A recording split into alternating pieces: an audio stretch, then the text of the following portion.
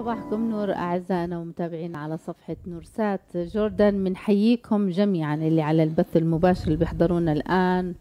وأيضا صباحنا وصباحك نور يا أبونا جورج. سعد صباحك نحن صباحك هذه. أول حلقة من العام الجديد فبنتمنى لل- للجميع كل عام وأنتم بخير. إن شاء الله يا ربي سنة خير وبركة على الجميع ويكون افتتاحيتها. خير على الجميع على عائلاتنا على أسرنا على حياتنا على كنائسنا مجتمعاتنا وعلى العالم أجمع.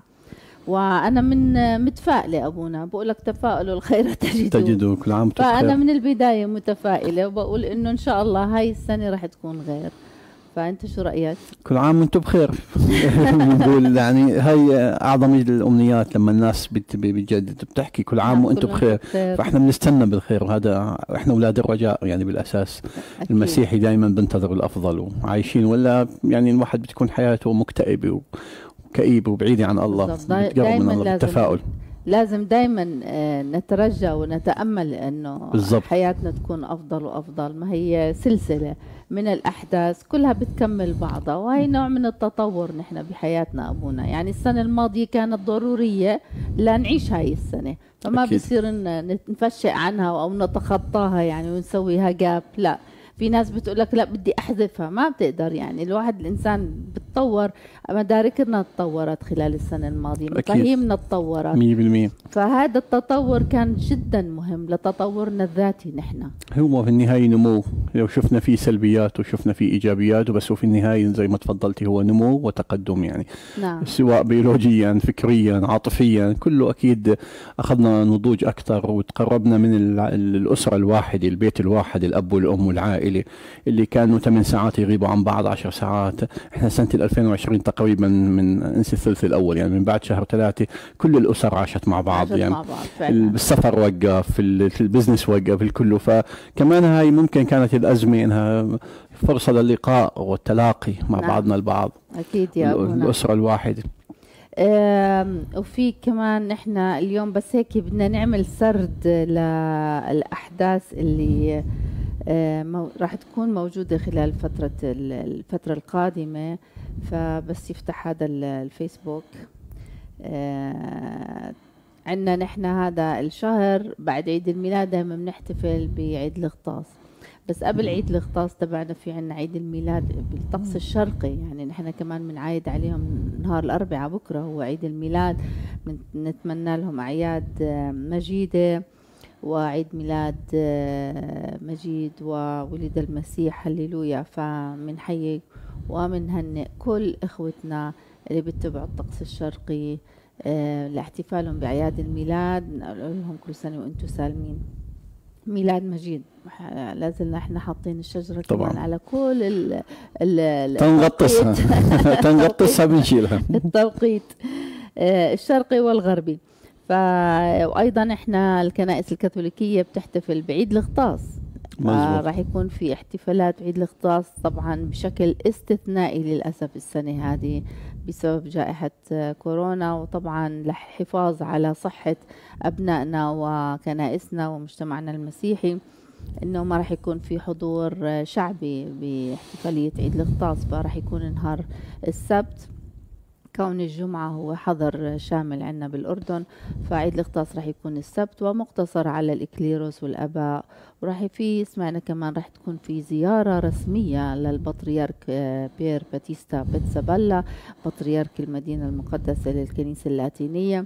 راح يكون يعمل أول زيارة للأردن و وإن شاء الله نحن كمان راح نكون آه، كنور سات آه، مواكبين. مواكبين ونغطي زيارته. ونغطي أيضا احتفالية آه، الغطاس بمغطس على ضفة نهر الأردن.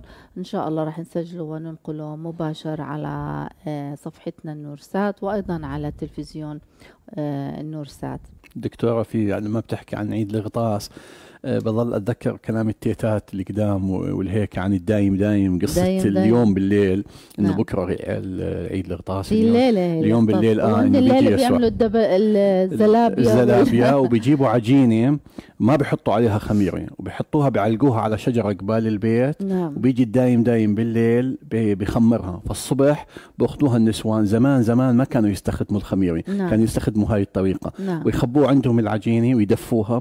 فخلص بتصير هي الخميرة للسنة كلياتها. يعني رمز للغلال البيت اللي الله بي بي بيباركه. بارك حلو. تقاليد يعني شعبية. شعبية, شعبية بالضبط معاني بساطة يعني. بس إلها معاني. نعم. بالضبط. يمكن هي مش كتابيا ما في هذا الحديث الكتابي أو الآبائي اللي بي بي بأي قصة إنه بيجي يسوع بالليل وبلا بس هو تقوية حتى كثير الناس اللي إيمانهم هيك التقوياتهم ال- الشعبية زي ما تفضلتي بيخلوا الشبابيك فاتحة نعم. اليوم بالليل عشان النسمات تفوت مع إنه دخلوا الأبواب مغلقة نعم. يسوع ما بيحتاج إنه يخلي له الشباك بس زي ما حكينا إنه يعني هيك تقاليد شعبية فعيد الظهور الإلهي هو حدث هام كونه شكل الثالوث الأقدس. نعم. ب- بحدث بحدث العمال. وإحنا كأردنية يعني ب- ب- يعني بنتأثر جدا إنه ب- بنهر الأردن بأرضنا وبترابنا وعلى ضفتنا فبيعطينا هيك فرح عظيم. إنه يسوع ببلادنا وعاش هاي الأحداث فإحنا انكتب ان إن نعيش هاي الأحداث بشكل مباشر ونعيش هذه اللحظات في بيوتنا في عائلاتنا بأسرنا. زي ما تفضلتي السنة هاي مختلفة راح تكون يعني نعم. احتفالاتنا. بس المهم العوامة يعني. في فهيك متذكر الوالدة تعمل لنا زلابيا اليوم. فلازم. لازم. دايما عادة بتعملها. بقول لها ماما مش ما تاكليها لأنها سكر يعني حلو كتير بالضبط. وهيك وهذا.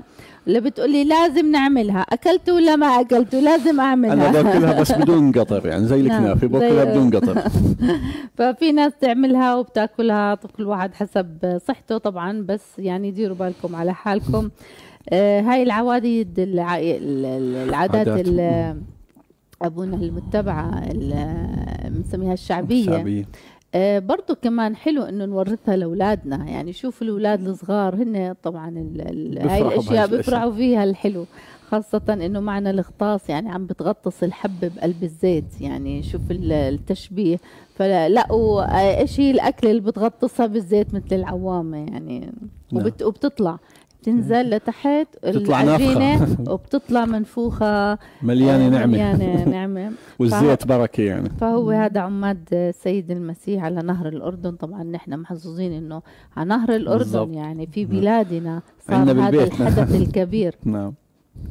فكنا نتمنى إنه دائما كل سنة بعيد الغطاس بيكون آه، احتفاليتنا بعيد. عماد الرب آه، بيكون في أعداد كبيرة من كل الأردن بينزلوا المسيح. نعم والذي يدعى بالحج المسيحي واللي بينتظروه كل آه، شعبنا المسيحي المؤمن ال- في الأردن آه، ينزلوا هذا اليوم إلى ال- ال- المغطس. نهر الأردن ويصلوا سوا آه، بعد عيد الميلاد وأيضا كمان في غطاس الروم بيكون آه، بعد عيد أوكي. الميلاد للأسبوع الجاي وإن شاء الله بنغطيه كله كنور سات بس السنة اعتذروا ما فيها راح يكون حج مسيحي. للروم الأرثوذكس؟ لا الكل. بس هلا مقتصرة على آه بس. آه يعني آه الآلاف اللي يعني كانت راح تنزل يكون في احتفال أو إنه ينزلوا على المختص. إحنا الاحتفال السبت آه، الساعة 11 صباحا. ضمن ضمن طبعا فقط. يعني وراح تكون الزيارة الأولى لغبطة البطرك آه، بيير لاتين. آه، بيير باتيستا وحضور آه، رؤساء كنائس ال- الكاثوليكية. فتمت الدعوة جميل. وأرسلت بهذا ال- الشكل مقتصر على فقط 100 شخص يعني راح يكونوا من آه، الكنائس آه، وممكن من أيضا من الرسميين. نعم آه، سفراء من السفراء من النواب المسيحيين ممكن كمان ينزلوا. فهذه هي ال- الاحتفالية راح تكون. على كل إحنا بنتمنى الكل كان ينزل لكن بالظروف الاستثنائية اللي إحنا فيها عايشين فيها. كورونا حفاظا على سلامتكم فيبقى الجهد الأكبر على ال- النور ساد. النور ساد. تنقل هذا آه، الحدث لمشاهد صحيح. طبعا آه، نحن من الأخبار أيضا اللي موجودة على صفحتنا اللي هو وفاة الموسيقار الكبير الياس الرحباني. كان هذا يعني حدث امبارح صار يعني من بعتبره حقبة زمنية انتهت. للأسف يعني واحد نعم. من عمالقة الغناء والموسيقى الرحبانية نعم. اللي عشنا من طفولتنا مع الرحبانية. على أصواتهم الجميلة. طبعا البركة بالورثة اللي أكيد ترك يعني أيضا أولاده بيستمروا. آه بيستمروا بالمسيرة فألف رحمة عليه طولة العمر لفيروز كمان هي. نعم. نعم ف فانتهت بموته لكن مستمرة بروحه من خلال الموروث اللي تركه طبعا على الساحة الفنية نعم. فألف رحمة وسلام عليه أمين. طبعا نورسات لبنان آه، عم توضع آه، فيلم هو ريبورتاج عن آه، عم تطلب الدعم المادي للمساعدة لإلها لأنه تعرضت طبعا خلال الانفجار الكبير اللي صار بمرفأ بيروت. تسع استوديوهات من استوديوهاتها اتدمروا على الآخر على الأرض يعني وصلوا. وإذا لاحظتوا خلال فترة الميلاد والفترة الماضية كان التسجيل يصير في بيت المدير العام السيد جاك كلاسي لأنه استوديوهات مش موجودة. وبرامج قائمة والأمل بده يستمر والعمل بده يستمر وين ما كان. فالكل حط إمكانياته لنورسات من أجل أنها تستمر برسالتها. فمن خلال طبعا هذا الفيلم عم نطلب المساعدة والدعم رسالة نورسات في نشر كلمة السلام والمحبة والتلاقي. فهذا هو سبب وجود الفيلم الوثائقي. لنفرجي الدمار اللي لحق بالاستوديوهات وأيضا كمان آه نطلب من الأيدي البيضاء والأشخاص الخيرين والمؤسسات الخيرة إنها تستمر في دعم آه رسالة نورسات في العالم كله. ونحن مش رح نحكي عن رسالة نورسات لأنه الكل بيعرفها من القاصي بتحكي عن حالها. بتحكي عن حالها. فلكي تستمر هي بحاجة إلى ولو فرس الأرملة. فكلنا مع بعض وروح الله معنا كمان أيضا. أمين. آه وأيضا في طبعا إحنا كعادتنا بنحط الفيديوهات اللي هي آه نشرة الأردن في أسبوع اللي كانت حافلة بالأحداث الماضية خلال الأسبوع الماضي. بنحطها آه تباعا. ومنقطعها يعني مشكورين الشباب اللي على السوشيال ميديا بيحاولوا إنهم يوصلوا كل حدث لوحده على أساس اللي بيحب إنه يحتفظ فيه أو يشيره. فهذا كمان نحن بنقوم فيه. آه قداسة البابا آه برسالته في بداية هذا العام آه حك كلمة جميلة جدا وك يعني وكلمة ورسالة جدا رائعة. طبعا إحنا بندعو الكل إنه آه، يقرأها بتمعن وتفهم. وإن شاء الله آه، قريبا آه، راح نستدعي كاهن يعطينا ولو شرح يعني أيضا بتعمق عن رسالة قداسة البابا لهذه السنة لهذا العام. وأيضا أحداث أخرى من فعاليات ومناسبات طبعا على صفحتنا النورسات وما بدنا نتأخر عليكم. نحن اليوم في حلقتنا آه، حسيت عاد عم بعمل بانوراما ل ما هو بدها لأنه أول السنة. نحن في عنا بانوراما لسه شوي متأخرين فيه بس قلنا نخلص لا نخلص من البانوراما لعيد الغطاس. فإن شاء الله قريبا نعمل بانوراما آه، نشاطاتنا خلال السنة الماضية. معنا ما كانتش كتير يعني النشاطات كانت داخلية أكثر من إن هي خارجية. لكن أكيد سوف نعرج على الأحداث اللي صارت من بداية السنة 2020 لنهايتها.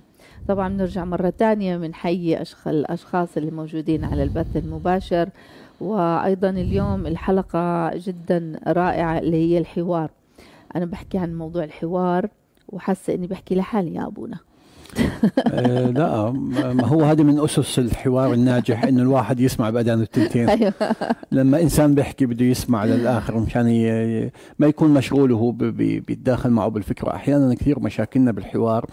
إنه أنا بكون سرحان والشخص بحكي وبحضر كيف بدي أدافع عن الفكرة. بطبع الإنسان اللي بحبش ينحط بمكان انتقاء أو بمكان فكرة. إنه أنت عملت هيك فما بيكون بسمع الفكرة للآخر. يمكن يكون بحمدني هو بحكي بصفاتي بس أنا خلص من من علامات الوجه هيك بطلع هيك فبكون أنا سرحت خلص بلوك عملت. مش سامع انت بتحكي طب ما أنا بحكي زي ما انت بتحكي طول بالك. بس انت ما بتسمع مش عم تسمع لأنه عم بتحضر كيف تجاوبني. آه، فأوقات هذه مشاكلنا في الحوار. إحنا اليوم رح نحكي مع موضوع الحوار في الأسرة وأيضا رح يكون معنا الأب آه، فرح حجازين.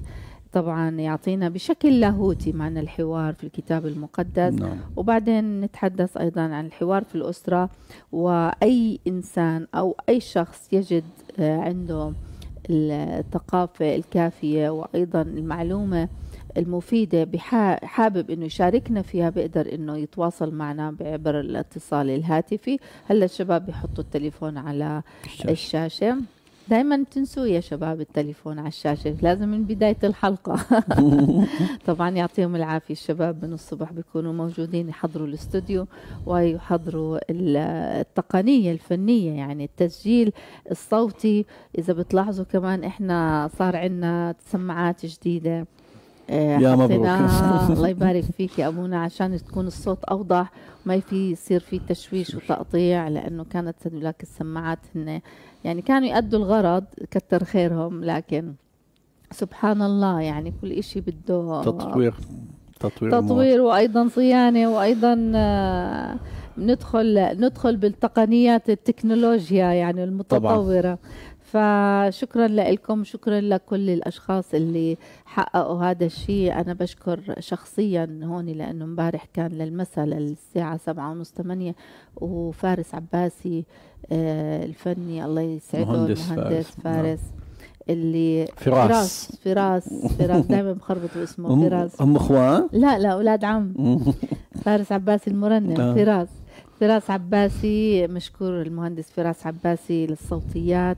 شكرا ل آه، يعني تطوعه إنه يركب لنا الأجهزة هذه و... كتر خيره يا رب. آه وي...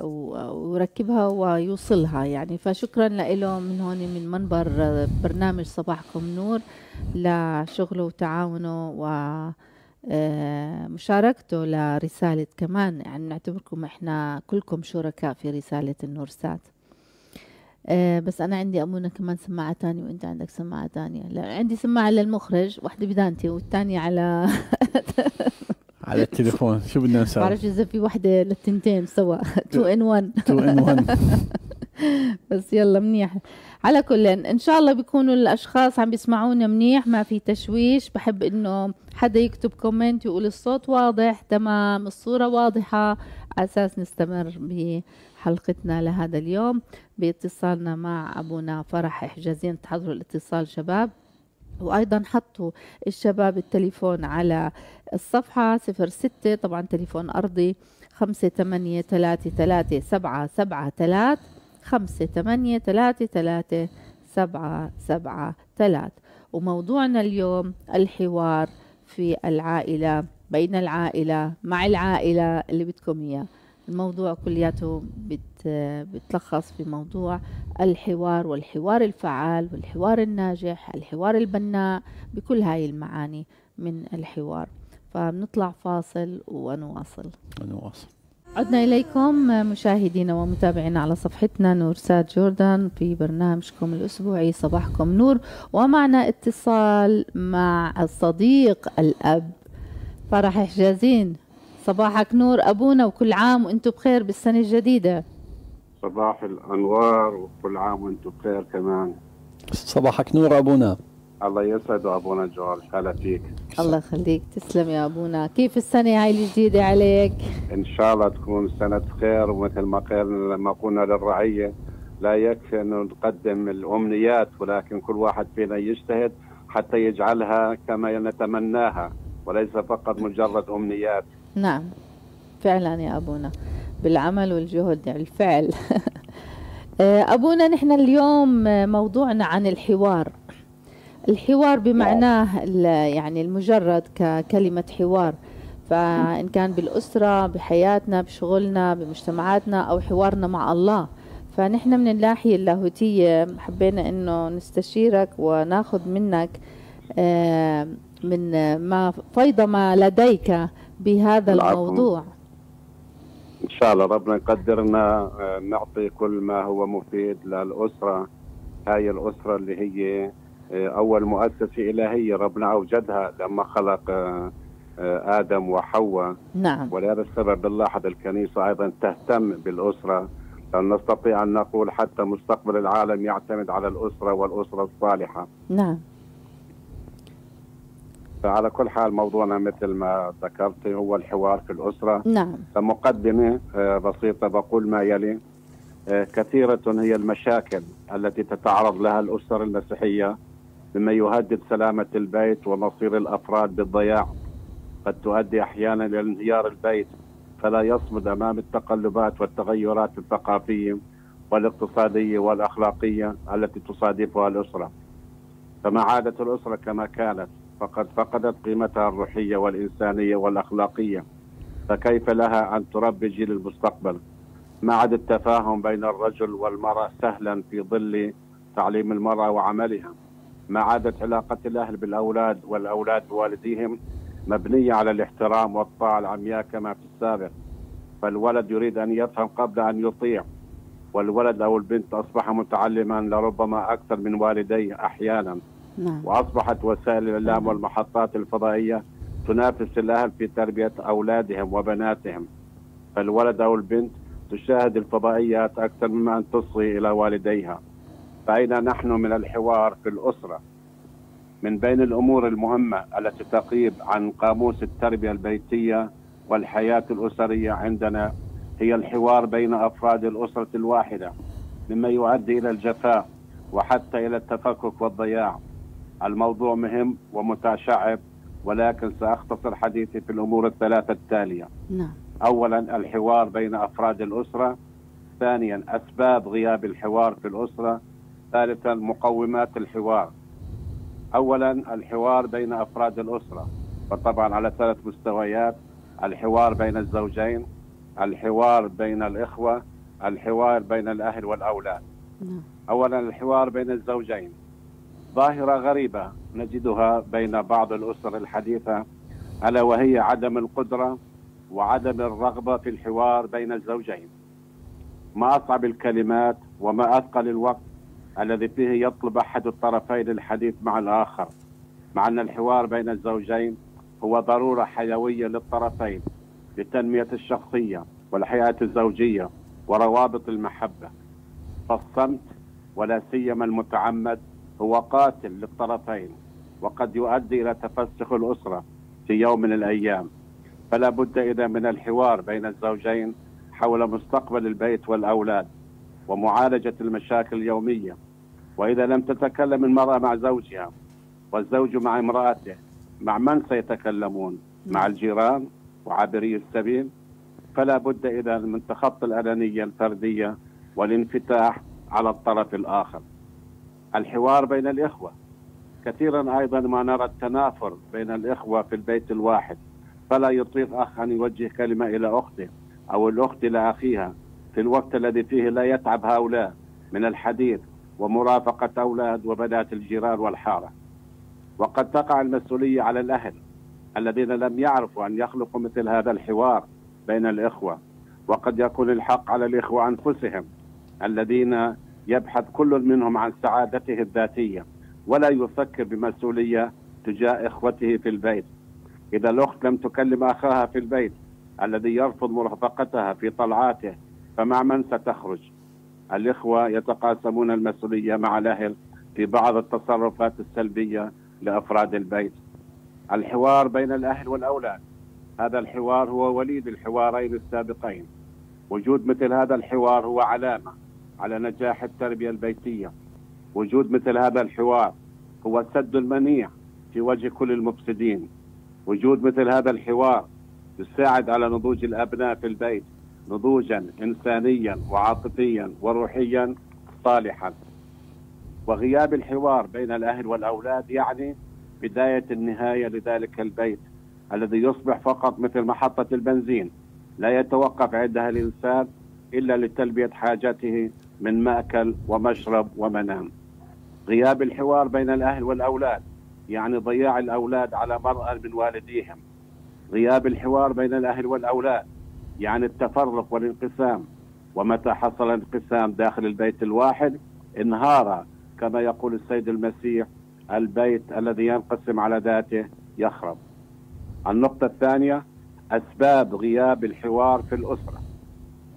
أولا حياة الروتين التي سرعان ما تسيطر على أفراد البيت إذا لم يجتهدوا في محاربتها ويتخطوا الأنانية ويضحوا في إسعاد الطرف الآخر فيبحثوا عن سعادتهم في إسعاد الآخرين لا في إسعاد أنفسهم على حساب الآخرين. لا يخرج الإنسان من من أنانيته إلا بالتضحية والعطاء. السبب الثاني هو اختلاف العقليات بين أفراد الأسرة لا سيما بين الأولاد والأهل والتي فيها يحاول كل طرف جر الآخر إلى التفكير كما هو يفكر وإلا أعلن عليه الطوارئ. وننسى أن اختلاف العقليات بين الأجيال قضية لا حل لها سوى التقبل المتبادل أي تقبل الاختلاف في الرأي والتفكير. إذ من غير المعقول أن ينتظر الوالدان من أولادهم أن يقلدوهم في كل شيء. ولا الأولاد أن ينتظروا من والديهم أن يفكروا بطريقتهم الخاصة. هذا ما يدفع كل طرف إلى مقاطعة الطرف الآخر على حساب حياة الأسرة الهانئة. فتقبل اختلاف الرأي والحق في اختلاف الرأي هو الحل في اختلاف عقلية الأجيال. ثالثا مقومات الحوار. يقوم الحوار بين أفراد الأسرة كثمرة حياة مسيحية مشتركة. يعمل فيها الفرد من أجل الأسرة والأسرة من أجل الأفراد. يقوم الحوار في الأسرة. عندما يؤمن الإنسان أن الحياة في الأسرة هي أخذ وعطاء فلا يفكر أفرادها فقط بما تقدم أو يجب أن تقدم لهم الأسرة بل يجب أن يفكر كل فرد من أفراد الأسرة ماذا يجب عليه أن يقوم هو لإسعاد الأسرة. لذا لا بد من الأمور التالية لتقوية الحوار وبالتالي صمود الأسرة أمام صعاب هذه الحياة. من مقومات الحوار إذا لا بد من الأكل معا حول مائدة واحدة تجتمع أفراد الأسرة الواحدة. لا بد من الصلاة الجماعية في الأسرة الواحدة لأن الأسرة التي تصلي هي أسرة متحدة. لا بد من الاجتماع بين جميع أفراد الأسرة الواحدة ومناقشة مستقبل الأسرة وأفرادها. لا بد من الاجتماع بين أفراد الأسرة الواحدة للتعاون معا على مجابهة الصعوبات وإيجاد الحلول لها. لا بد من أخذ قسط من الترفيه والتنزه معا. لا بد من المساواة في التعامل بين أفراد الأسرة الواحدة من قبل الأهل فيما يخص المديح والمكافأة والقصاص والمصروف. ممارسة التسامح في العائلات إنها مسألة حياة أو موت. في عائلاتكم. طوبى للأسرة التي لا تغرب الشمس على غضبها والويل للأسرة التي يعشعش البغض والحقد في قلوب أفرادها أسابيع وأشهر وسنين طويلة. أختم كلمتي بهذه الحقيقة. إن الإنسان بطبيعته كائن اجتماعي يحتاج إلى بيئة اجتماعية لكي ينضج وليس في بيئة أفضل وألقى وأصدق من البيئة البيتية. وليس هناك من بيئة يمكن أن تعوض عن هذه البيئة في تهيئة ونضوج الشخص الإنساني في جو من المحبة. لأن المحبة وحدها تستطيع أن تجمع وتوحد جميع أفراد الأسرة حتى وإن اختلفت آرائهم كما يقول لنا القديس بولس عن المحبة. المحبة لا تفعل السوء ولا تسعى إلى منفعتها ولا تحنث ولا تبالي ما ينالها من السوء ولا تفرح بالظلم بل تفرح بالحق وهي تعذر كل شيء وتصدق كل شيء وترجو كل شيء وتصبر على كل شيء. وهذا كل ما أردت أن أقوله حول موضوع الحوار لعل وعسى يدخل الحوار في بيوتنا ونتحاشى الكثير الكثير من المخاطر التي تهدد كيانها ووجودها. وشكرا لكم.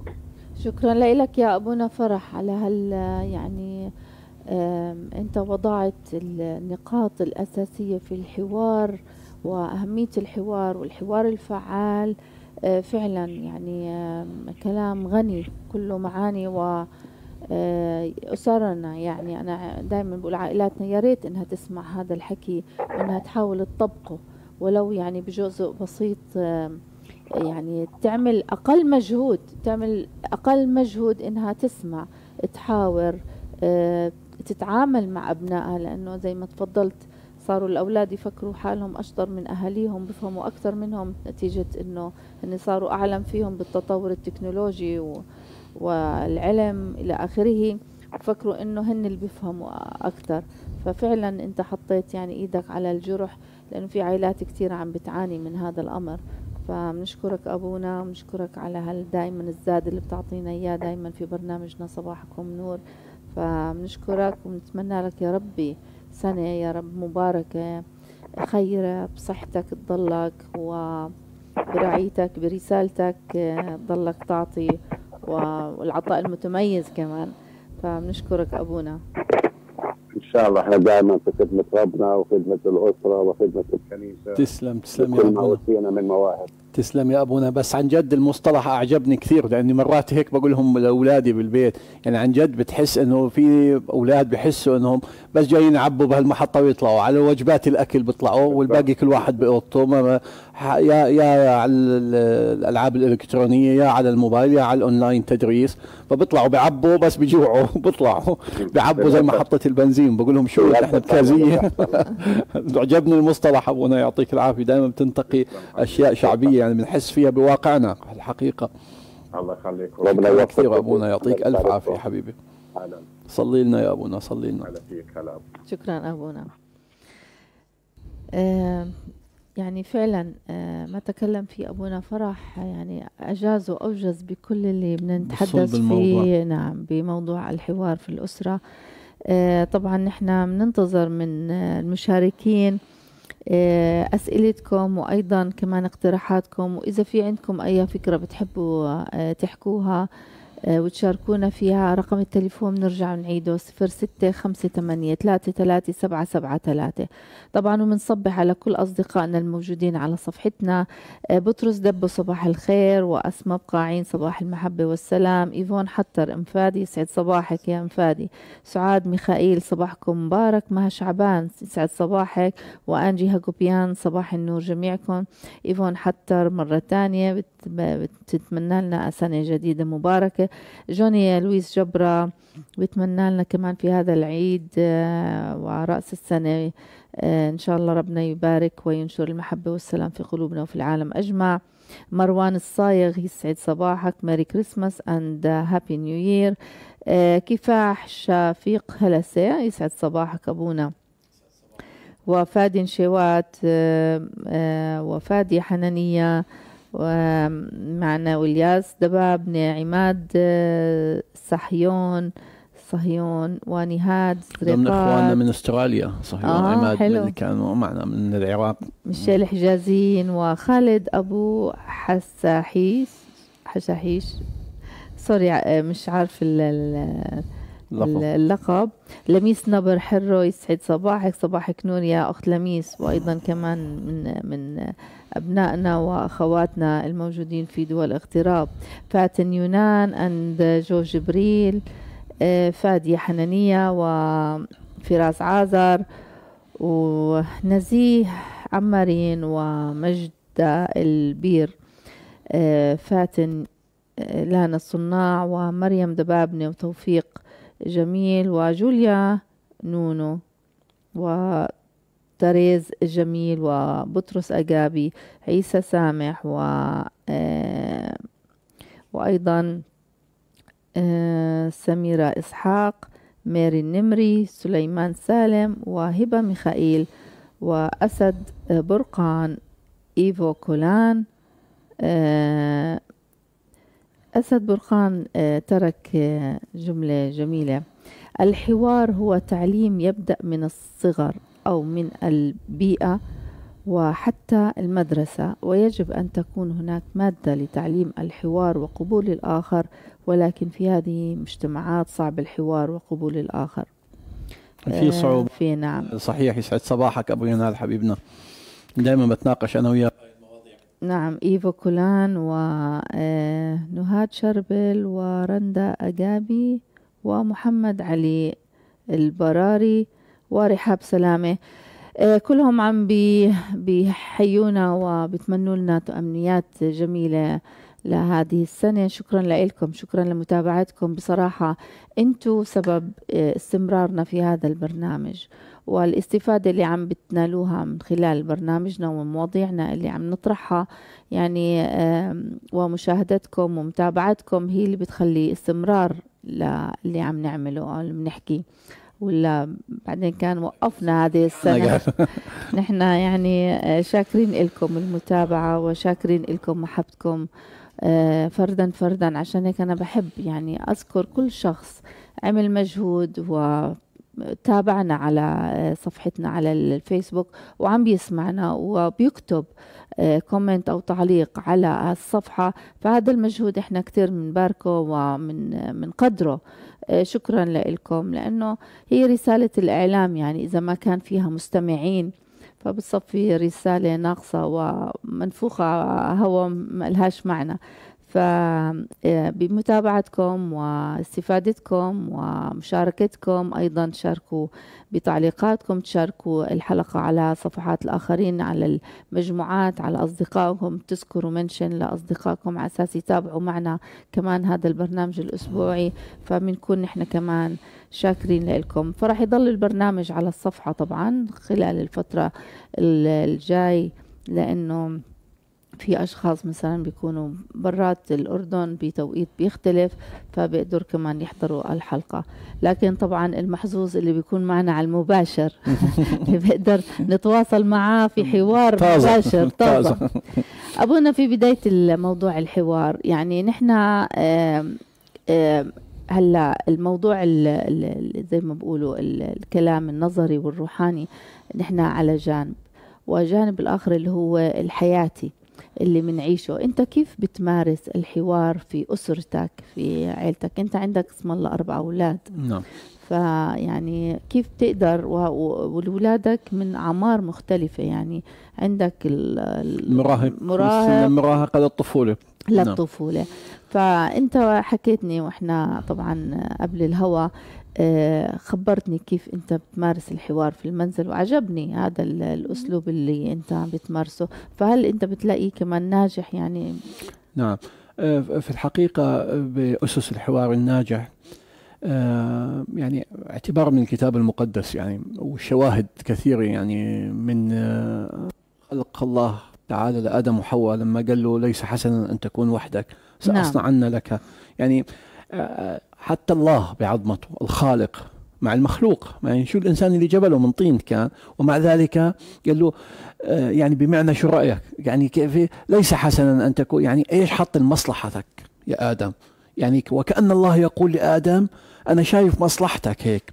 وهذا هو انطلاق حواري مع أولادي مع عائلتي مع هيك خصوصا الكبار.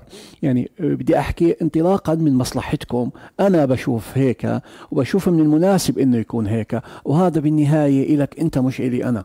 نعم. دائما بركز على هاي الأفكار إنه العلامة العالية التفوق حتى لو كان فني تفوق باي بأي مهارة هو بيمارسها إنه في النهايه هذا بيميزك بالمجتمع.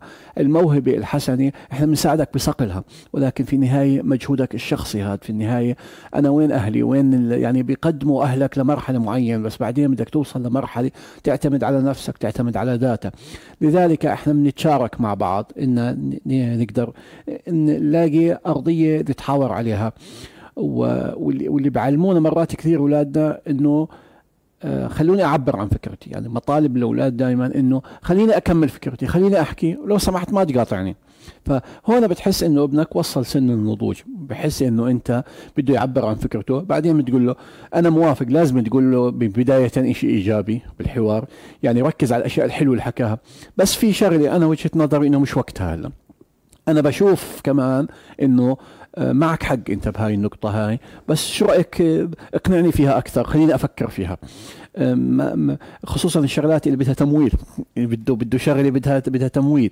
واحيانا تتجاوز ميزانية الأهل. ممكن يكون الواحد مش قادر على اليوم في أشياء يعني أولادي الكبار من ثلاث آه، أعياد ميلاد الماضية صارت كل هداياتهم password ات بابا تبعث لي رقم اللعبه الفلانية أو ال credit تبع ال PlayStation حتى لما يروحوا كانوا قبل كورونا يعايدوا على أصحابهم أعياد الميلاد الهدية بتكون ال password للعبه بحبها صاحبه. مم. يعني بقول لهم طب نجيب طابة؟ بيقعدوا يضحكوا علي. مم. طب إذا صبية بدك تجيب لها لعبة؟ يعني هاي عمره ثلاث سنين أربع سنين شو طب كمان في مواهب رياضية في مواهب فنية إنه اليوم خصوصا مع الأونلاين مع المدرسة مع الهيك فصار كل شيء إلكتروني وفي تسويق عالمي لها لها يعني أنت أبونا بتلاقي في صعوبة إنك أنت تتأقلم مع هذا التغيير في طبعا طبعا. آه بتلاقي أنت كأب يعني طبعا في صعوبة. أكيد. فهل هذا بيعطيك بيولد عندك شعور بالانزعاج مثلا؟ وأوقات بخليك تطلع زي ما بيقولوا عن طور الواحد. هو قلق وخوف يعني بالنهاية. إنه إنه أولاده عم وصلوا بمرحلة إنك أنت مش مدرك يعني مش إنه إدراك لكن وصلوا بمرحلة أنت لا تتقبلها إنه أنت كيف كنت وكيف عاشوا كيف عشت وأولادك كيف قاعدين عم بيعيشوا. أحيانا حتى لغة الحوار آه، مع الأولاد تختلف عن لغتك أنت. طبعا. فبتحس إنك أنت بتحكي بواد والأولاد عم بيسمعوا أو بيحكوا بواد تاني يعني. مش قاعدين على قاعدة واحدة من المعاني المشتركة آه، إنكم تتبادلوها. فإيش هذا سببه؟ آه، أكيد زي ما حكينا هي وزي ما حكى أبونا فرح قبل قليل هي الأجيال تعاقب الأجيال واختلاف الثقافات والمفاهيم. الاجتماعية يعني الأسرة اليوم مع العالم الجديد. يعني زي ما حكينا الحلقة الماضية قاف كاف قبل كورونا وبعد كورونا التاريخ صار الحياة آه، العلاقات الاجتماعية نعم. تغيرت خفت. يعني أولاد العم يعني والأولاد الخال واولاد الخالات واللي كانوا هدول بالأعياد يلتموا بالهيك. اليوم نشوف إنه في سنة ما شافوا الأقارب بعض وصار في هو ثقافية بينهم بين بعض كل واحد راح في مكان كل واحد نعم. اختلفت هاي طبعا من الأسباب التطور التكنولوجي اللي على الأهل إنهم يواكبوه بنفس الوقت يعملوا المزيج إنه ما تكون حياتنا كلها على الأونلاين ما تكون حياتنا كلها الكترونيه نعمل هالمزيج مع التحافظ الحفاظ على الأسس التباعد وأسس يعني ولكن ما نقطع صلة الرحم. نعم. الإخوان مع خواتهم هيك يعني هذا العيد ما عيدت ولا حدا أنا ولا نعم. المقربين جدا. يعني اللي بنفس مكاني ما رفضت إني أنا آه، ألف على الناس وهيك في ظروف صعبة. يعني جاينا الغطاس هذا كيف بدنا نكرس البيوت. يعني في في في مشاكل كثير وصعوبات. ولكن على أرض الواقع إحنا بنشوف الحوار إنه تسمع وجهات نظر الناس الثانيين. أكثر العظماء والملوك والقياصرة زي ما بيحكوا. كان عندهم مستشارين لكل شغلة. ليس ما في إنسان أو أب أو أم بفهم كل شيء. نعم. لما أفكر حالي أنا بفهم كل شيء آه، هنا بقع بصعوبة. فدائما بحكي لأولادي بقول لهم أنا الخبرة التراكمية اللي معي بحكم تقدمي بالسن عنكم أكثر منكم نعم. هي قاعدة من ثابتة أساسية. ولكن قد يكون لديكم المعلومات في مجالات معينة أكثر مني بكثير. يعني أنا درست كل دراستي بالعربي. أنتم اليوم كل دراستكم باللغات الأجنبية. فصار في عندكم ثقافة مختلفة تشخيصية للأشياء اللي حواليكم. يعني صار في عندكم كمعلومات أكثر آه، آه، مني أنا ولكن أنا عندي الخبرة التراكمية في مجالات اجتماعية معينة. بكون أكثر في روحانية معينة لكل واحد فينا بيتميز يعني. مثل ما بيحكوا لكل شاب لكل طفل لكل فتاة في في البيت بتأثر بشخصية أمها بتتأثر نعم. بشخصية أبوها في النهاية بدها تكون هي شخصيتها المستقلة نعم. اللي بدها تعيش مع أسرتها الجديدة بتنتقل من بيت أهلها لبيت الزوجية بدها تصير في علاقة مع عائلة ناشئة جديدة حماتها وحماها سلفاتها يعني هاي كلها صعوبات اجتماعية ما بيوفر لنا إياها جوجل ما راح أسأل جوجل فيها الأخلاقيات ديننا العائله المسيحية اللي بيوصل الفاتيكان برسائله دائما لأجل الأسرة لأجل العائلة. آه، هاي كلياتها المفاهيم آه، نأخذها من الأكبر منا لازم يعني زي ما إحنا أخذناها أخلاقياتنا وثقافتنا في النهاية من البيت من الأسرة. نعم أبونا. آه، أبونا في الكتاب المقدس في كثير شواهد على إنه كان يخاطب ربنا الأنبياء. ويحكي معاهم في لغة حوارية. يعني في كتير شواهد في الكتاب المقدس صار في حوار بين ربنا مع أنه هو ربنا يأمر. يعني لكن استعمل يعني صاحب السلطان نعم بحاور. كان ممكن أنه صاحب السلطان عم بيحاور.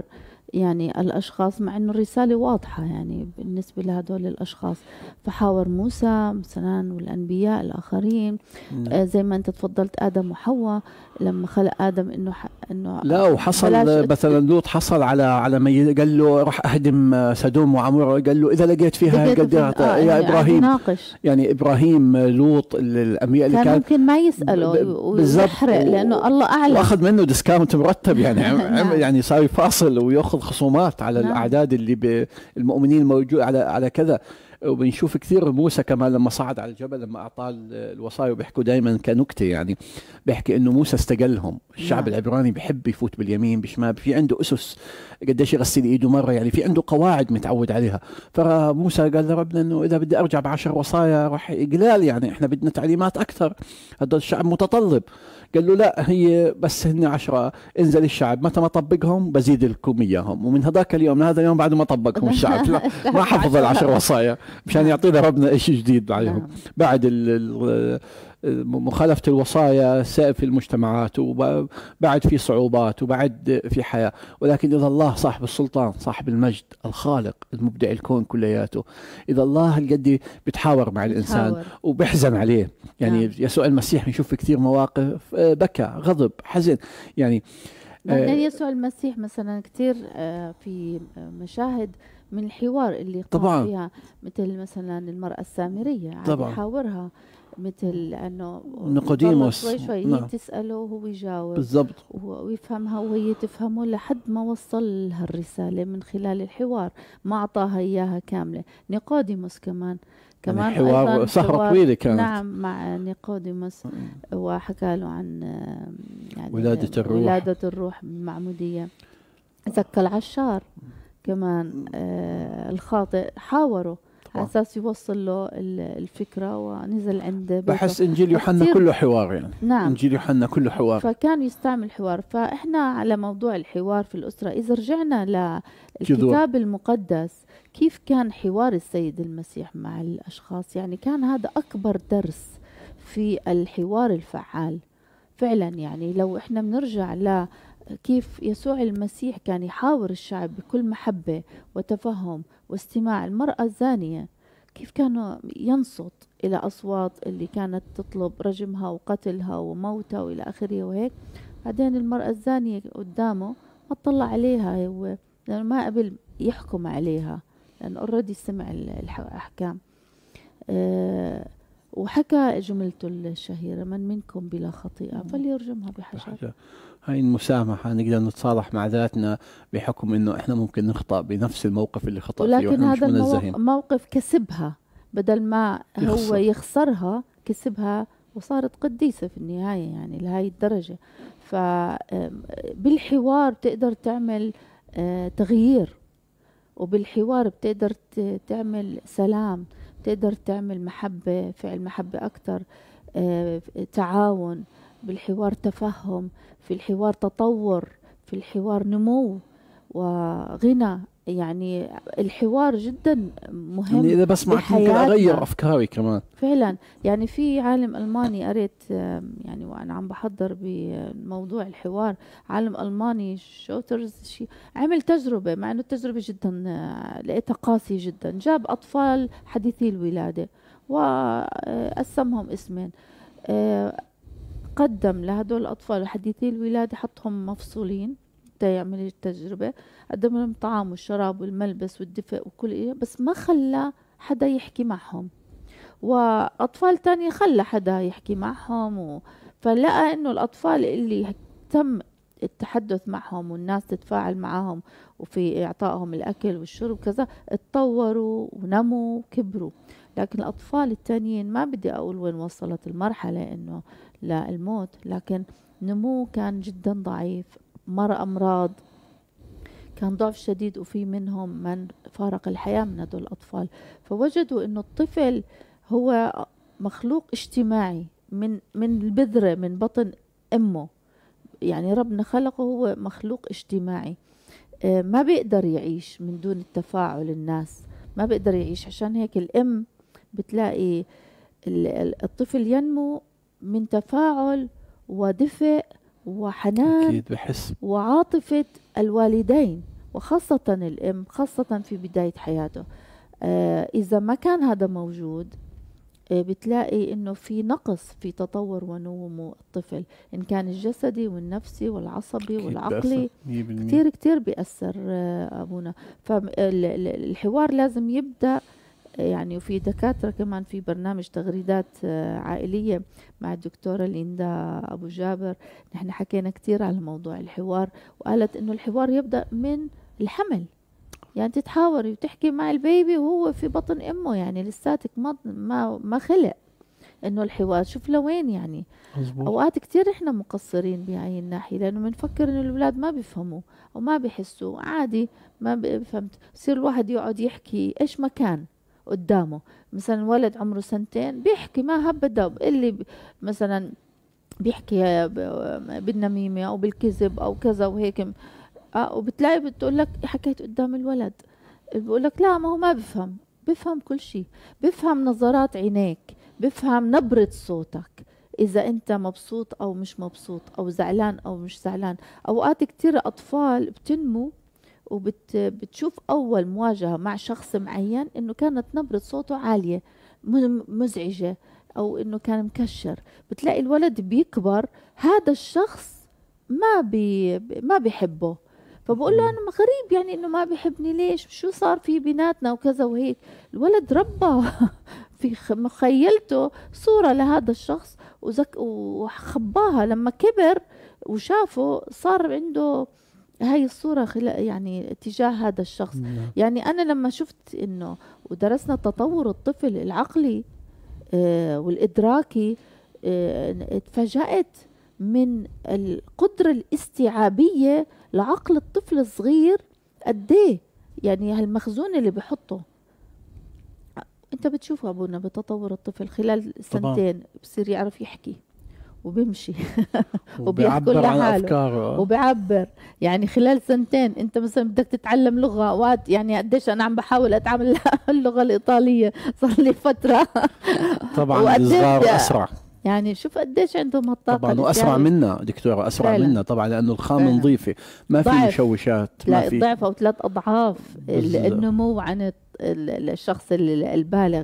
فنحن كثير نهتم بالأطفال بهاي المرحلة إنه نربي فيهم الحوار مبدأ الحوار من هن أطفال صغار حتى لو ما بيفهموا يعرفوا إنه مثلا البابا والماما بدهم يحكوا مع الطفل. حتى لو ما بيفهموا بيقعدوهم بيحكوا معهم بيتبادلوا الحديث. كيفك أنت اليوم؟ ليش زعلان؟ آه اليوم أنت زعلت ماما ساعدت ماما ما ساعدت ماما. هاي في البداية يعني إنك أنت تبني هاي القاعدة من آه الحوار بالعائلة.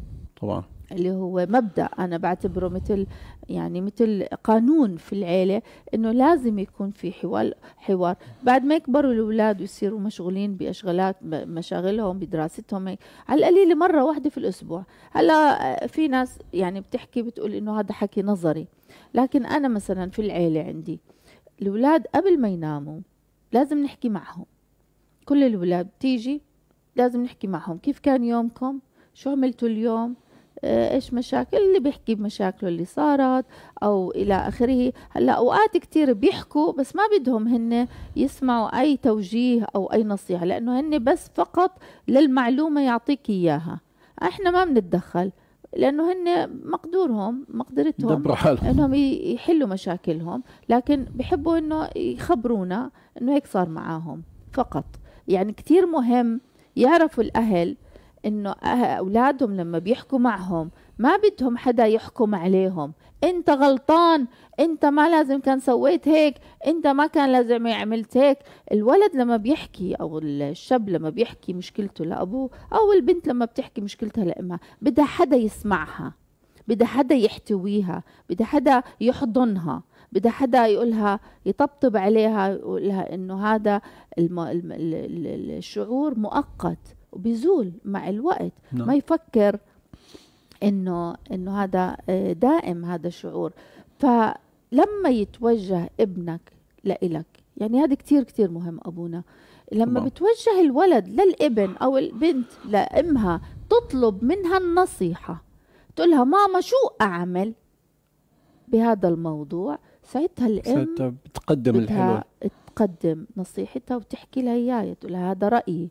أو الأب لما الابن يقول له إنه صار معي مشكلة بالشغل صار معي مشكلة في الهاي بابا إيش أعمل بهذا الموضوع؟ أنت شو رأيك؟ لو كنت مكاني إيش رأيك؟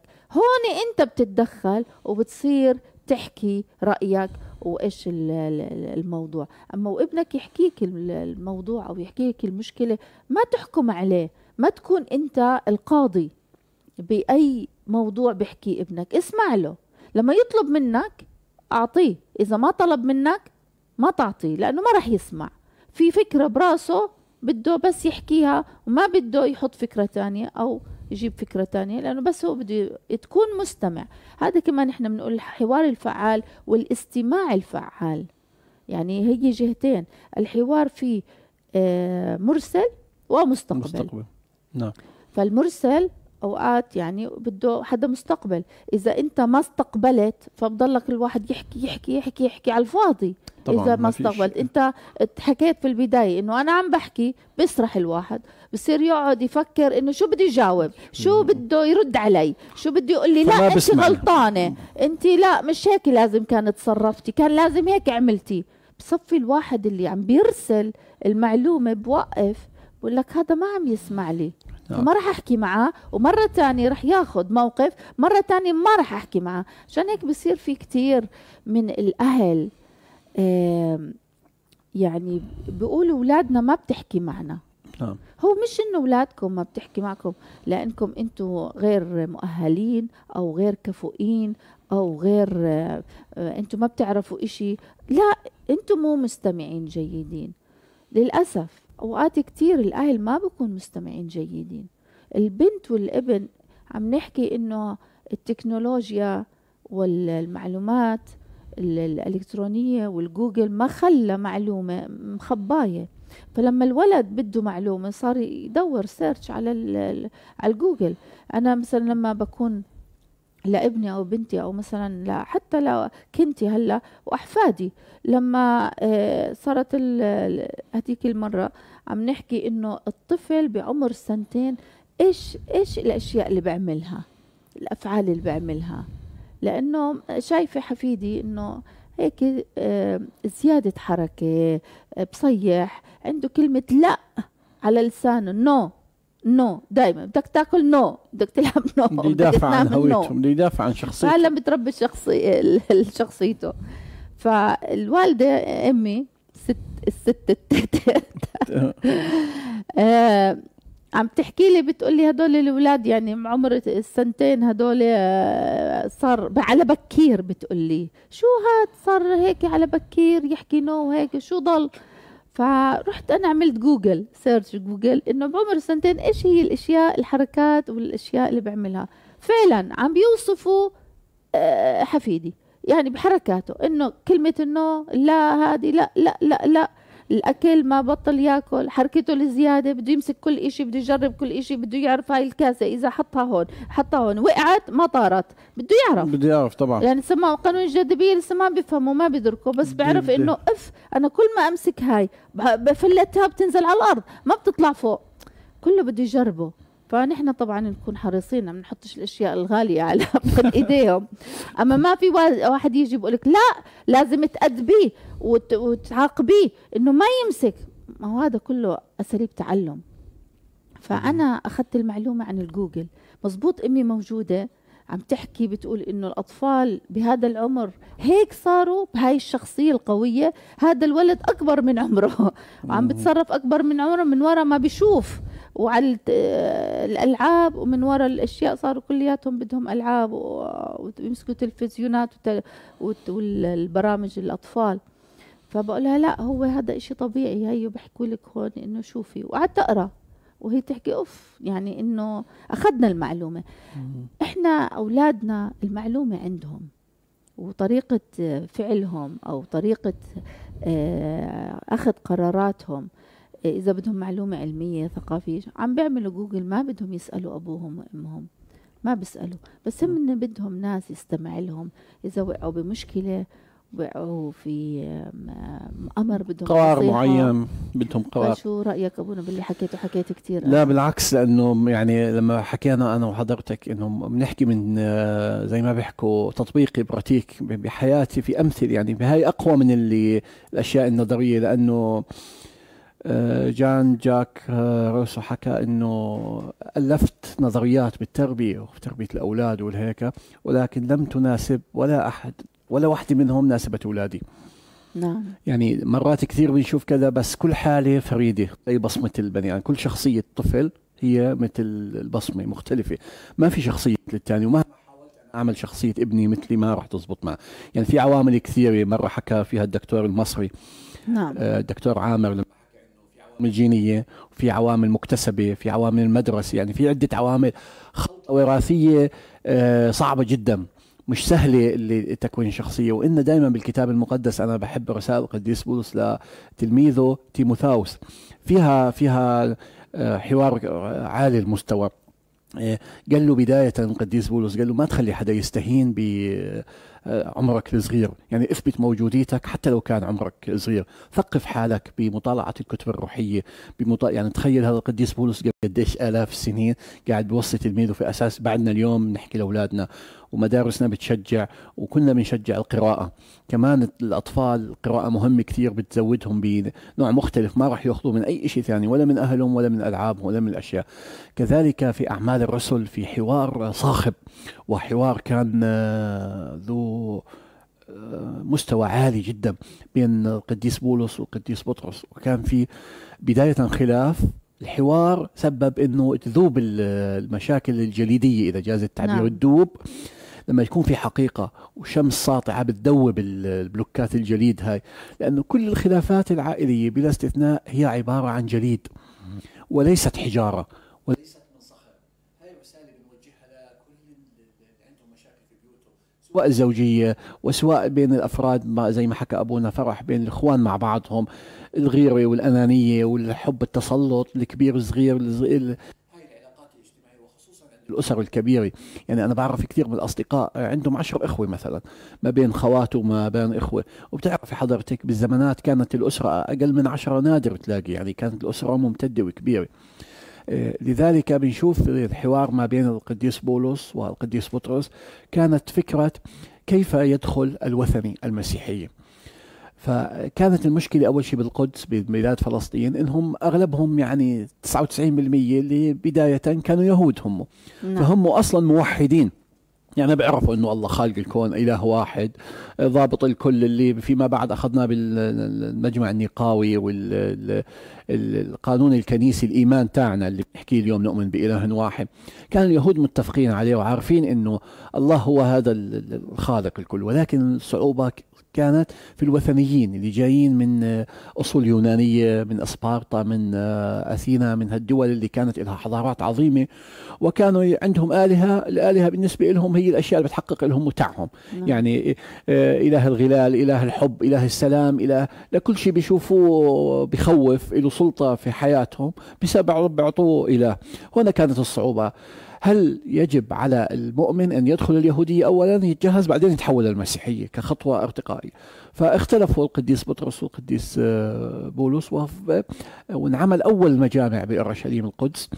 أول نقاش وحوار جدي قعدوا على الطاولة يعني قعدوا على الطاولة سووا يتفاوضوا وقالوا للقديس بولس خلاص اذا أنت وظيفتك تبشر الوثنيين أحمل البشارة إلى الأمم. الأمميين يعني هم اليهود. اليهود كانوا يسموا الوثنيين أمميين. نعم. وأنت يا بطرس بما أنه أنت عارف ال- ال- الخلفية اليهودية وهيك أنت بشر اللي من أصول آه، وهون آه، يعني الخلاف بسبب الحوار تحول إلى اتفاق. نعم.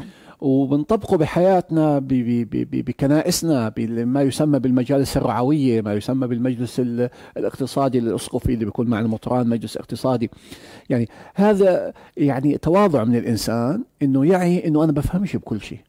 آه دكتورة باسم ما بتفهم الموضوع الإعلامي أكثر مني. أنا بفهم بموضوع صلواتي وكنيستي بفهم. ففي تخصص بهالحياة. الإنسان الحكيم اللي هو شبهتي لي إياه وإحنا قبل الهواء ودائما هيك بعجب في هالتشبيه. دكتورة لما حكيتي إنه انه أعضاء الجسم الإنسان في رأس في إيدين في باقي أعضاء. ف الحلقة بدون مونتاج ما بتزبط.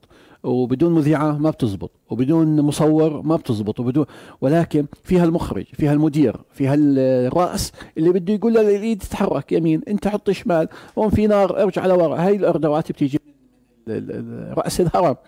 لذلك الحوار هو بحط النقاط على الحروف وبحط كل واحد له حده له أنت بتعرف إنه أنت وظيفتك مثلا خلينا نقول إحنا في مجلس الكهنة نعم. مجلس الكهنة بدك تعرف أنه الأسقف هو صاحب القرار وأنت سلطة استشارية وليس سلطة تنفيذية يعني لو اختلفتوا كلكم مع مع الأسقف بده يمشي كلام الأسقف نعم.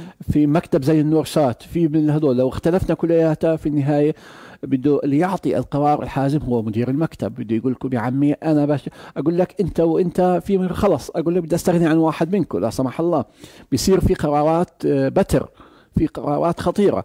إذا الحوار ليس لأجل الحوار بحد ذاته بس مشان أسمعك وأحكي وأتبسم لك وتتبسم لي وكل واحد يسوي اللي, اللي براسه. إذا أنا ماخذ قرار بأي موضوع في حياتي بلاش أعمل حوار لأنه أنا ماخذ قرار وجاي مسبق بدي أ... الناس تزكي قراري. يعني بدي بضل أقنع فيك أقنع فيك أقنع فيك. وأنت تقول لي عن بتزبط. هاي جدوتها محسوبة وعملناها ما بتزبط بهاي الطريقة. عملها بهاي لا بس ما هو به... يا عمي صارحني. احكي لي انت ماخذ قرار بالموضوع. خلص عاد ليش بتسألني؟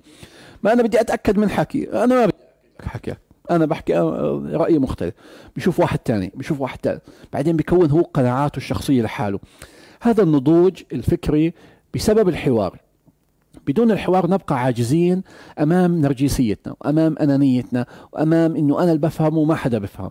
يعني أوكي أنا ما بفهم ب... ب... بهذا العمل ولا بفهم بهذا بس أنا بقدر تشرح لي وأستوعب هذا مشان أقدر آخذ قرار في الموضوع عن فهم وعن دراية. بس لا يعني إنه أنا بدي أمسك وأقصقص وأنا بدي ألحم وأنا بدي أعمر وأنا بدي أشتغل من هيك. يعني وكل مشروع في مدير مشروع بيكون كبير المهندسين. نعم. يعني المهندسين على أرض الواقع بيتناقشوا مع بعض بيشوفوا العلم بيحكي آه هذا بتحمل ضغط الترساني بدك آه 10 بار بدك يعني 5 طن اسمنت آه طن حديد. يعني يسوع من البداية كان يحكي زي ما استشهد أبونا عن البناء البيت اللي مبني على على الصخر المبني بأسس جيدة. عائلاتنا من أهم الترسانة اللي بتبنيها وبتثبت في حديدها هو هو الحوار. عشان أعرف أنا هذا حطيته هنا ولا ما حطيته هنا الكمية هاي مناسبة أو لا؟ يعني على جميع الأصعدة يعني على مستوى البيولوجي الغذائي الأكل ما الأكل. يعني بنشتهر بالأردن بأربع خمس أكلات معروفة هاي بنحب نضل نعيد فيها المنسف والمقلوبة ولا بتعيد. فما بدك كمان حتى بهاي بموضوع الأكل يعني كمان تتناسب الآراء شو الأكل المناسب إيش الأشياء اللي أنت بتحبها إيش الأشياء اللي أنا ما بحبها نعم. في زي ما تفضلتي أشخاص من الطفولة كانوا دفشين معي حسيت في بيكبر الواحد وهو الشخص هذا مش قادر يتواصل معاه لأنه في كان سوء تعامل في ذكرى سيئة آه. آه. مؤلمه بالضبط يعني خصوصا دكتورة إحنا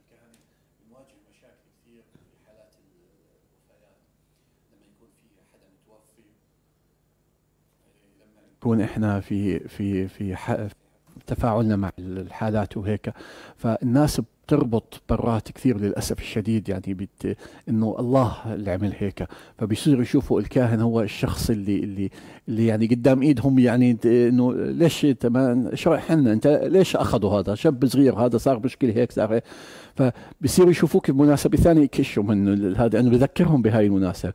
وعلى العكس اللي بيكون وقف معاهم وأعطاهم سبورت وحكى معاهم وزارهم وإجا هيك ما بنسوها. وحكيتيها حضرتك المرة الماضية إنه الناس بالعزاء وباللي بيعطيهم الدعم الروحي والنفسي ما بنسوه. نعم. بيضلوا بيحسوا إنه هو طمنهم هو أعطاهم علامات.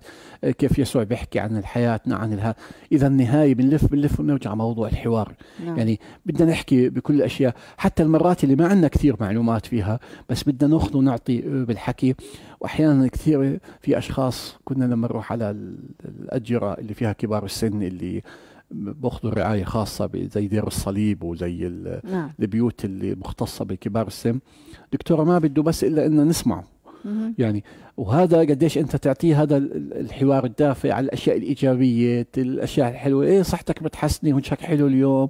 آه ما شاء الله عليك آه كذا. ببلش هو يحكي يحكي يحكي. وهي تعبير عن الطاقات اللي داخلي فينا الحوار آه بعزز ثقتي بنفسي بغض النظر عن عمري كنت صغير أو آه أو كبير. يعني تعلمت شغلي لما بحكي مع الأطفال كثير صغار يعني أربع سنين خمس سنين لازم أركع ركبي وأنا بحكي معه لما بضل يطلع فيي زي هيك هو بتحسسه في نوع يعني بعلم النفس هاي دكتورة إنه نعم. لما أنا بركعه على على مستواه ويسعيني بعينه وهيك بيعبر أكثر برتاح بحسها مع أولادي كمان الصغار بفرح فأنت مشان تطلعيه معك لفوق بدك تنزلي له لتحت. وبالحوار بده يسمع الواحد بده يسمع. في أشياء مزعجة في أشياء يا رب سامحني يعني بتكون آه، نابعة عن عن عن عن عن فكر آه، يعني سطحي. بتحسي أفكار في أشخاص كبار بالعمر أشخاص يعني ما لها دخل هاي الثقافة بالشهايد ولا لها بالعمر. ما في ناس نعم. شغالين على حالهم بالحوار وبالثقافه وبيسمعوا بعض. بس في ناس بتسمعيهم يعني أفكار سطحية. بتحسي قديش بدك تتواضعي من داخلك عشان تكمل فكرته. يعني ما ما تقطعيه. يعني مرات بيحكوا غلط مرات يعني بيتمادى أشخاص يعني بصيروا يحكوا بطريقة مزعجه برجع أنا بعمل هالسيتنج بالضبط إنه يا حبيبي معلش توطي صوتك الله يرضى نعم. عليك صوتك عالي هيك وطي صوتك شوية عشان أقدر أنا أستوعب. هي ببطل اسمعك ودائما بنحكي الصياح والغضب اللي بيعبر عنه الصوت العالي آه ضعف يعني نعم بيكون طبعاً. يعني لأنه بيجبرك أحيانا إنه يسيء الواحد واحيانا الغضب ما بيكون بفكر الواحد إيش بيحكي. فممكن أحيانا أنا أجرح الشخص اللي, اللي قبالي وإحنا خصوصا اللي درسنا يعني بال 15 سنة الماضية بالتدريس كثير بتعلم الواحد إنه 100% إذا بدك تغضب على الطالب بدك طب ليش مهم كثير إنه موضوع الحوار يدرس؟ يعني في ما احد من الأصدقاء من أسد المتابعين نعم. يقول لك إنه هذا لازم يدرس في مدارس. التربيه الوطنية لازم يدخلوا لازم يدخلوا موضوع الحوار والحوار الفعال والبناء. في مناهجنا الدراسية لأنه أنت ما بتركن إنه كل الأهالي يعني علماء اجتماع وفاهمين موضوع الحوار. أو مثلا في كنايسنا كثير ضروري بالوعظات إنه آه، نحكي على موضوع الحوار وأهمية الحوار. يعني نحن في الكنيسة لما بيحكي الكاهن الرعية أو بالقداس الوعظة والناس مستمعة يعني. ما بيكون في حوار لأنه هن متلقين فقط. نعم. لكن كثير مهم إنه حتى ولو بالوعظات يحكي عن أهمية الحوار البناء والفعال. نعم. وأنا بشوف كمان يعني بس هو لأنه ضيق الوقت لأنه إذا صار في حوار بالكنيسة بيطول بيطول الوقت القداس. لكن في طبعا منابر أخرى مثلا التعليم المسيحي الأخويات. مدارس الأحد الأخويات إنه يصير في نعم. نوع من الحوار. فهذا كمان أسس الحوار البناء يدرس ويتعلموا في في هذه النشاطات الرعوية. نعم. وأيضا بالمدارس بالجامعات كمان. ويعني نحن ليه جبنا هذا الموضوع المهم؟ لأنه عم نصادف آه، يعني بحياتنا كثير في من الصعوبات والعراقيل والمشاكل اللي بتصادف العائلات واللي عم نسمعها. نتيجة ما في حوار ناجح وفعال عم يمارس في عائلاتنا بين الأباء وال بين الأزواج وزوجاتهم بين الآباء وأولادهم بين الأولاد بنات بعض لأنه قدامهم المثل غير صالح. يعني ما في حوار بين الأب والأم بالتالي الأولاد يتربوا على حوار فعال. فما تحكوا لي إنه إنه الأولاد يكون في بيناتهم حوار فعال والأب والأم آه، حوارهم غير فعال والصوت العالي والصياح أو آه، برمي لبعض الكلمات الجارحة قدام الأولاد. الأولاد بيفهموا. فبتربوا على قلة الحوار بنطووا بغرفهم بيصيروا لوحدهم يترافقوا مع رفقاء تانيين آه، يتحاوروا معهم. لأنه الإنسان مثل ما حكينا في البداية الإنسان خلق طفل اجتماعي. بده ناس يتحاور معاه. فإذا ما لقى هذا في بيته البنت إذا ما لقت هذا في بيتها تتحاور مع أمها مع أبوها مع العائلة بتلاقي حدا تاني من من رفقاء أو رفيقاتها وأحيانا بيوقع الخطأ بين إنه يكون رفقاء السوء. نحن بس, بس هيك بدنا نطلع على بعض التعليقات من أصدقائنا المتابعين على صفحتنا واللي بنشكرهم. آه، جريس أنطون حتر آه، صباحكم نور صوفيا آه، سانجولو يارا السلكاوي. عندنا كمان ماجدة البير بتقول عندما يأتي ولدي يطلب مني أخذ رأيي في أي شيء أترك كل شيء وأتفرغ له. قد لا يأتي فرصة أخرى للنقاش تضيع فرصة التقويم. إننا كأباء أيضا نشغل أنفسنا بأمور روتينية عن أولادنا وهم أولوياتنا. فعلا. اوقات كتير. ماما بدي أقول لك شغلة بتكون مثلا يا على التليفون يا عم تطبخ أو بتنظف البيت أو كذا. بتقول له بعدين بعدين بعدين. فمثل ما حكت الأخت ماجدة ممكن بعدين ما تيجي. ما تيجي خلص يعني تروح والولد وقتها ما بده يحكي خلص يبطل. فلا يعني إذا الأطفال أولوية. آه نعطيهم الأولوية عندما نسمعهم. فما في آه حدا يقول إنه آه ما في عندي وقت. أو هلا مش هلا بسمع لك بسمع لك بعدين. آه، ما بيعرفوا الوقت المناسب آه، إمتى. لسه ما ما أدركوا. ممكن لعمر أكبر بيعرفوا إنه مثلا الوقت المناسب لما أشوف أبوي وأمي قاعدين آه، مثلا ورايقين باجي بحكي معاهم. لكن هذا برضه تدريب. يعني من البداية يعملوا القانون في البيت إنه نهار الجمعة مثلا الساعة الفلانية بعد الفطور أو بعد وجبة العشاء يقعدوا مع سوا يتحدثوا مع بعض يوم الجمعة. وهلأ مع وجود كورونا والحجر الصحي يوم الجمعة خصصوا ساعة من وقتكم بالحجر الصحي. الحجر المنزلي الشامل يوم الجمعة. اقعدوا مع أولادكم احكوا معاهم شوفوا إيش عملوا خلال الأسبوع إيش آرائهم شو رأيهم بأفكار معينة. استشيرهم بأشياء افتحوا معهم مجال الحوار. يعني تركت لنا هاي السنة 2020 وهلا مستمرة. مجال كورونا هاي وجائحة كورونا مع يعني المشاكل اللي, اللي رافقتها. تركت لنا نفكر ببعض أكثر وزي ما أنت تفضلت في بداية الحديث لمتنا على بعض أكثر يعني اللي ما كان عنده وقت هلا صار عنده وقت. ف آه ليش لا؟ شكرا لك ماجدة على ملاحظتك. أسد برقان آه لا يوجد اتفاق مطلق حول فكرة ولكن عند هناك توافق مرحلي أو اتفاق زمني لخدمة مجتمع. آه، أتمنى أن يكون هناك حوار حول الأمراض المجتمعية من مختصين أو ناشطين اجتماعيين. مش غلط هذا نعمله واحدة من حلقاتنا القادمين يا أسد. لا يوجد اتفاق مطلق حول فكرة ولكن هناك توافق مرحلي.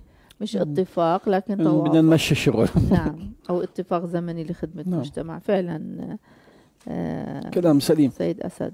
نعم. وفراس عذر صباحك صباحكم نور يسعد صباحكم لميس نبر حرو من سان فرانسيسكو. يسعد صباحك. ليل عندهم هلا ها؟ نعم. آه ففي آه، نهاد شربل أيضا. آه وحنا زغيب وكل الأصدقاء اللي بيتابعونا يعني إحنا نرجع عليكم واحد واحد. طبعا نتمنى إنه نحكي معكم آه، ونحاوركم مع جميعا. آه، لكن هلأ نطلع هيك شوية فاصل صغير قبل ما ننهي حلقتنا. نعم. فشباب فاصل نريح الناس. آه، عدنا إليكم. متابعينا. طبعا إحنا إجينا على نهاية برنامجنا. الصباحي صباحكم نور. نشكر كل من شاركنا ب ملاحظات أو بتعليقات أو برضو كمان بأفكار شاركنا فيها بنشكرهم جدا. طبعا موضوع الحوار وأهمية الحوار بالأسرة مع الطفل آه، نحن آه، أعطينا فكرة عامة عن هذه عن موضوع الحوار وأهميته. لكن طبعا بطريقة لاهوتية اجتماعية أسرية وأيضا خبرات. يعني خبرتنا إحنا الشخصية كأبونا ككاهن وأنا كربة أسرة أيضا وأم وأيضا جدة تيتا تيتا زي ما بيحكوا كمان عم بكبر بحالي. بس يعني الواحد ما بيقدرش آه، إنه آه، آه، يلغي هالفكرة. طبعا في موضوع الحوار في نقاط كثيرة طبعا. إحنا ما حكيناها بالتفصيل. مثل ما هو مذكور يعني إذا أنتوا على الجوجل حابين آه، معلومات أكثر بتقدروا تعملوا بحث على الجوجل على موضوع الحوار وأهمية الحوار البناء بين أفراد الأسرة بين الطفل. وطبعا آه، الحوار آه، شو فائدته للأطفال. يعني في أشياء كثيره نحن كتبناها هون كان ممكن إنه ن- نحكيها. لكن نحن حبينا نحكي ونشارك آه، خبرتنا الشخصية.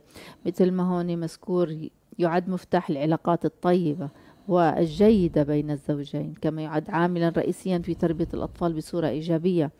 الحوار مع بين ال- ال- الوالدين والأطفال يمنح القدرة للأطفال على التواصل مع الآخرين في المستقبل يساعد الاعتراف بالأخطاء الشخصية من قبل الآباء أثناء الحوار أمام الأبناء على تقليد هذا السلوك الإيجابي من قبلهم. يعني هاي بعض النقاط اللي أنا لخصتها آه، واللي آه، حكيناها وذكرناها من ضمن الحديث. يساعد الحوار على مشاركة الأبناء القصص الشخصية. والتحدث عن التجارب الخاصة يساعد على التعبير عن الاهتمام الحماسي بشؤون الطفل والتركيز على مصالحه حيث يضمن جذب الطفل للاشتراك في الحوار وتعزيز وتقوية العلاقات الأسرية. بيساعد الحوار على تفهم إحباطات الطفل. كثير بيكون في عنده إحباطات.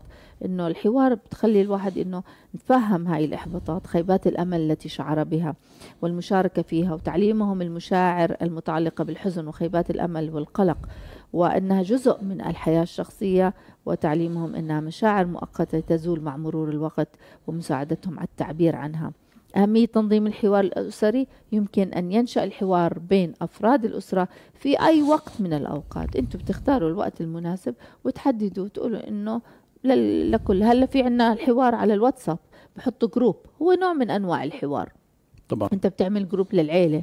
بينك وبين اولادك وزوجتك. فبتتحاوروا بتلاقي على ال group واللي بيحكي كلمة واللي كل... كثير نحن بناء على هذا الحوار على ال group لأنه كل واحد بمنطقة. هو جزء من كنه الاجتماع الأسري بس الافتراضي. يعني في عالم الافتراض مش عالم الواقع. لكن لازم ضروري المواجهة. اطلع في عين اولادي طبعا مهمة. اطلع بعين زوجتي. زوجتي تطلع في عين زوجها. الأولاد يتطلعوا بعيون بعض. يشوفوا التعابير يشوفوا ال- ال- ال- ال- ال- بسموا لغة الجسد كمان. ضروري جدا هذا كمان. ما ينضل الحوار افتراضي بيني وبين على ال social media على ال group مع إنه بيساعد أحيانا إني أوصل فكرة أو معلومة لكن مش غلط إنه تطلبوا اجتماع تتفقوا عليه كلهم تحطوا رسالة على ال group وتقولوا بدنا نعمل جلسة حوار. أسرية يوم الجمعة الساعة الكذا وكذا عشان الكل يلتزم فيها. فهذا جزء كمان أستعمل التكنولوجيا في تحقيق أهدافي. بالضبط. آم، يعني على الأقل مرة بالأسبوع على الأقل يعني. فيعني في كتير نصائح عن موضوع الحوار مثل ما خبرتكم ال- ال- ال- الجوجل مليان. يعني حاطين لكم حتى جداول. إيش تحكي مع ابنك وكيف تحكي وكيف تتصرف كذا وهيك وهذا. نحن بحلقة واحدة ما بنقدر نحكي هذا أكيد. ال- الكل. نحن بهاي الحلقة بس يعني حطينا إضاءة على أهمية هذا الموضوع يكون جزء من حياتنا. حياتنا بين أفراد أسرتنا بين أفراد شغلنا بين مجتمعنا دينيا لاهوتيا حتى الحوار بيني وبين الله كيف يكون. أنا أخصص وقت أعمل حوار بيني وبين الله. يعني زي ما بدي أخصص وقت لأولادي أخصص وقت أقعد فيه بيني وبين الله انفرادي آه، أحكي مع ربنا آه، أعطيه هموم. هو بيسمع. مزبوط أنت مش شايفه ومش راح تشوف تعابير جسده زي ما بقول البادي لانجوج لكن هو بيسمع لأنه آه، هو قال لنا إنه تعالوا إلي. هو اللي قال اطرق بابي وأنا بفتح لك. هو اللي خبرنا هذا الحكي. وبعتقد إنه هذا الكلام كافي لننهي في حلقتنا لهذا اليوم. للبرنامج صباحكم نور وبنتمنى لحلقاتنا الجاي نحمل كل ما يفيد يفيدكم ويجلب الهنا والسعادة. مرة تانية بنقول لكم كل سنة وأنتم سالمين على السنة الجديدة. يا رب سنة خير وبركة لكل الجميع لعائلاتنا أفراد أسرنا لأولادنا لمجتمعنا لكهنتنا. وأيضا نتمنى أعياد مجيدة مباركة لإخوتنا الأرثوذكس اللي بيعيدوا حسب الطقس الشرقي. كل عام وأنتم بخير وبنلقاكم من جديد كمان بعيد الغطاس السبت الجاي كمان ننقلكم عيد الغطاس ما آه، تنسوا المتابعة. وأيضا ال share بدناش نوصيكم share و like هذا بيزيد كمان من انتشارنا للكل. إذا أنت استفدت حتى يفيد غيرك. كمان تعمل مشاركة على هذا البرنامج وتذكر في أصدقائك ومن يحتاج إلى النصيحة والإرشاد. وكلنا مرشدين بهاي الحياة كل واحد حسب وجوده وخبرته. فصباحكم نور وأبونا تعطينا البركة الختامية ومنقول صباحكم نور وإلى اللقاء. نعمة ربنا يسوع المسيح ومحبة الله الآب وشركة الروح القدس فلتكن مع جميعكم. سلام المسيح. معكم أيضا. سلام. Tener o miel, nur sein.